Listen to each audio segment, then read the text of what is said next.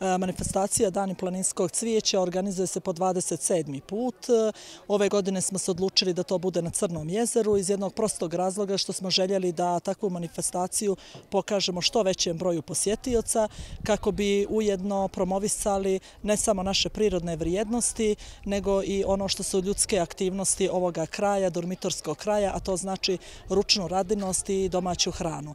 Naravno, glavni organizator je lokalna samuprava, odnosno opština Žabljak, ove godine godine u samu manifestaciju i organizaciju uključili su se i nacionalni parkovi Crne Gore, odnosno nacionalni park Dormitor. Iz tog razloga smo danas ovdje na Crnom jezeru, kao i lokalna turistička organizacija. E, kada je u pitanju turizam, ovakve manifestacije imaju višestruku ulogu.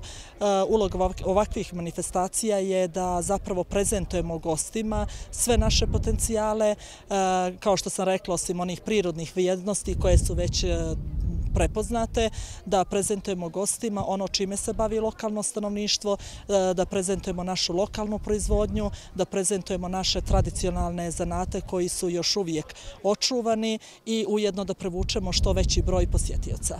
E, posjećenost na Žabljako je jako dobra, skoro su svi kapaciteti popunjeni, odnosno nekih 85% kapaciteta trenutno imamo popunjeno, e, već sada dolaze praznici, e, tako da je za same dane praznika veliko interesovanje za žabljak i žargonski rečeno traži se mjesto više. Kada su u pitanju najave, dugoročno za cijelu ljetnju sezonu jako su dobre, jako su ohrabrujuće i od, kada su u pitanju sami hoteli, od kojih imamo povratne povratne informacije, popunjenost eh, hotela je jako dobra sve do kraja septembra.